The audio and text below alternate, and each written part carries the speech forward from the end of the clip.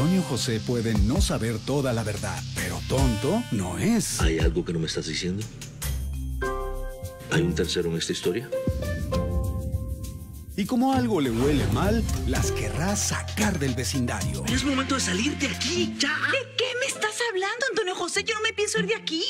Yo tengo tanto derecho como tú a tomar esta decisión. Son mis hijas tanto como tuyas. Silvana sin lana, esta noche a las 8 pm 7 Centro, por Telemundo.